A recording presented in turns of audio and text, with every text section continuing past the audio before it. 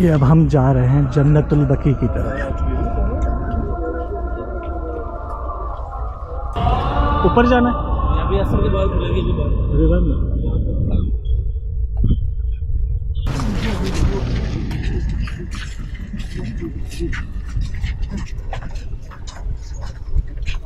अस्सलाम वालेकुम वरहमतुल्लाहि वबरकातुह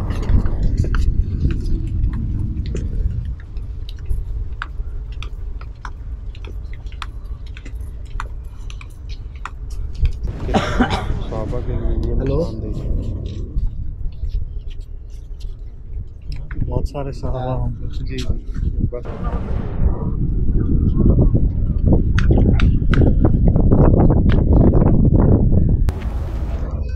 अलकुम दोस्तों। कैसे हैं आप सब? उम्मीद करता हूँ खैर खैरियत से होंगे। तो दोस्तों, आज हम जा रहे हैं जन्नतुल बकी की तरफ़,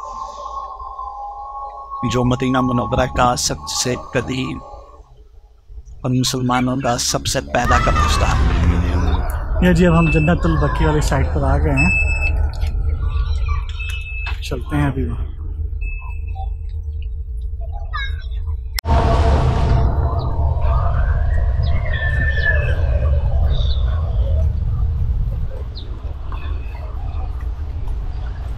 ये जन्नतुल बकी इधर है?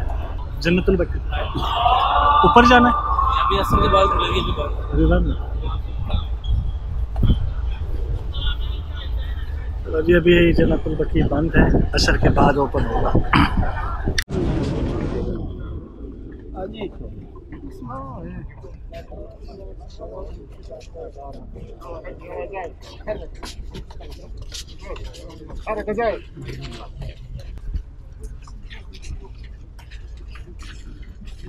Thank you.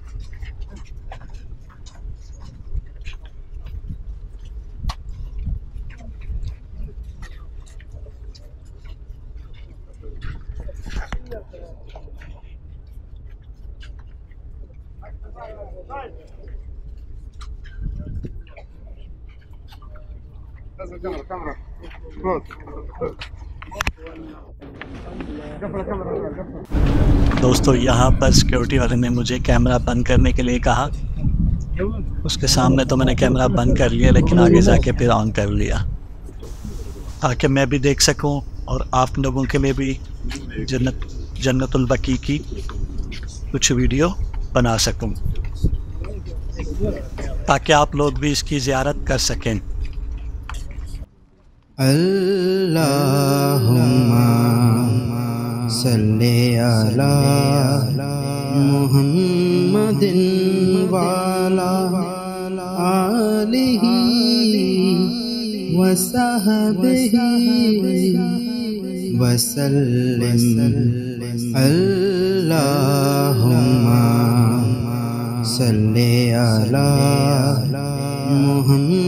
मुहम्मदिन वाला आलिही वसहबिही वसल्लिम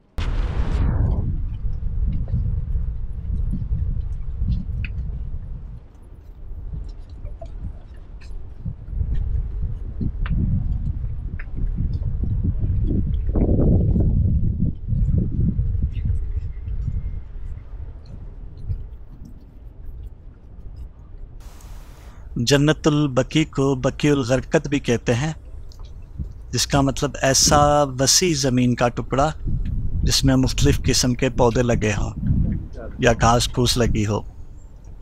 हजूर सल्लल्लाहु अलैहि वसल्लम जब हिजरत के बाद मदीना तशरीफ़ लाए तो इस ज़मीन पर बहुत से घास फूस के पौधे लगे हुए थे, जिसको बाद में साफ़ करके कब्रिस्तान बना दिया गया।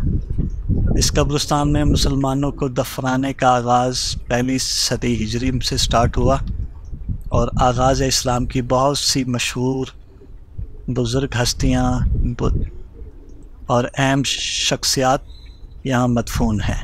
हजूर सल्लल्लाहु अलैहि वसल्लम के करीबी रिश्तेदार, अहल बैत और बहुत से साहबा कराम, जिनकी तादाद हज़ारों में होगी, वो भी इसी कब्रिस्तान में मदफून हैं।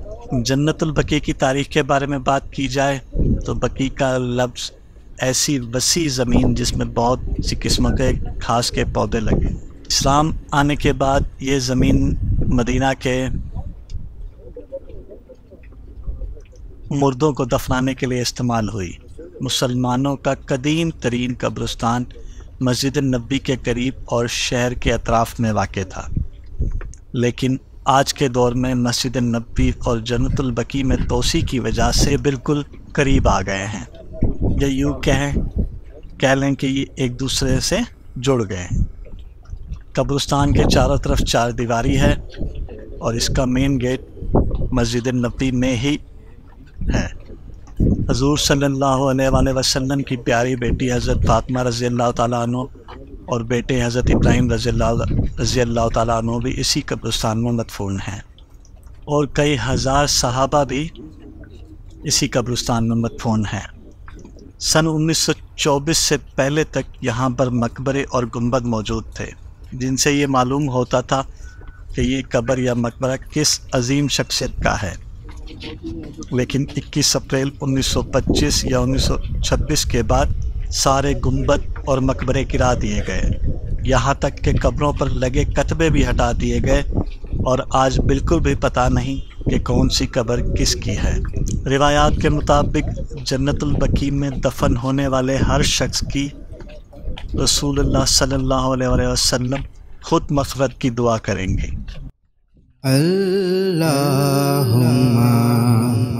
सल्ले अला मुहम्मदिन वाला आलिही वसहबिही वसल्लिम अल्लाहुम्मा सल्ले अला मुहम्मदिन वाला आलिही वसहबिही वसल्लिम अल्लाहुम्मा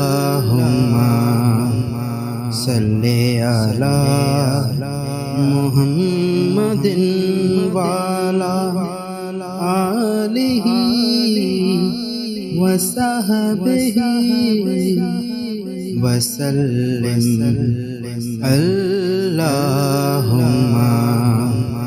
सल्ले अला मुहम्मदिन वाला आलिही वसहबिही वसल्लिम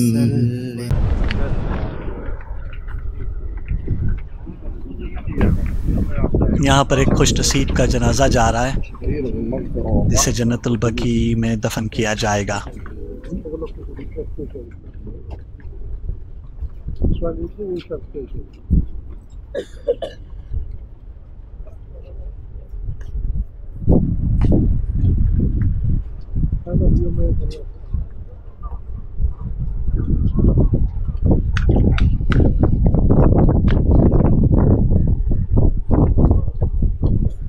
यहाँ से मस्जिद नबी के मीनार भी नज़र आ रहे हैं। दोस्तों, ये था हमारा जन्नतुलबकी का सफ़र। आपको जन्नतुलबकी कैसा लगा? कमेंट्स में ज़रूर बताइएगा। इसकी ज़ियारत आपको कैसी लगी? कमेंट्स में ज़रूर बताइएगा। और जन्नतुलबकी को देखकर आप क्या फ़ील कर रहे हैं, ये भी कमेंट्स में ज़रूर बताइएगा। और इस वीडियो तक के लिए इतना ही। मिलते हैं अगली वीडियो में। वीडियो पसंद आई हो तो लाइक, सब्सक्राइब और शेयर करना ना भूलिएगा। दुआओं में याद रखिएगा। अल्लाह आपका हामी नासिर हो।